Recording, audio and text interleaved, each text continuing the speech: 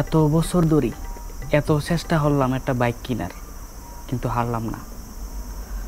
হতাশ, আমি হতাশ। ও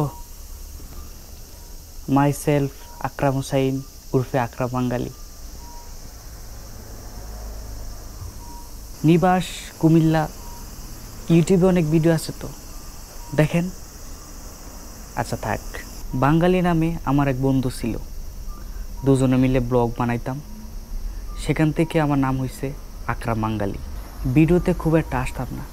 কেউ জানতো না কে আকরাম বাঙ্গালি বাঙালি আর আমি মিলে ইউটিউবে ভিডিও বানাইতাম। ভালোই চলছিল। ভালোই। প্রচুর ভিডিও বানাইছি, প্রচুর। সিদ্ধান্ত নিলাম, আমরা মোটু ব্লগের জন্য বাইক কিনব। টাকা পয়সা জোগাড় করতে শুরু করে দিলাম। মোটামুটি জোগাড় করলাম।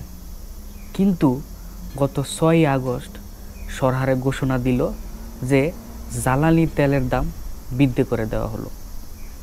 চারিদিকে দোলফাগর শুরু হয়ে গেল। সবাই ভাবছে, আকরাম বাঙালি মনে হয় বাইক কিনা লাইছে।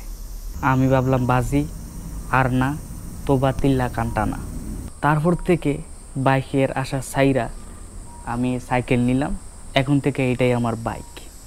অবুক, প্রধানমন্ত্রী তো খুব স্মার্ট একবারে পাবলিকের জায়গা বরাবর হাত দিয়ে দিছে। একদম টু দ্য পয়েন্ট কিন্তু সমস্যা হইতেছে গিয়া, আই তো বাইক কিনতারলাম না। যাজ্ঞা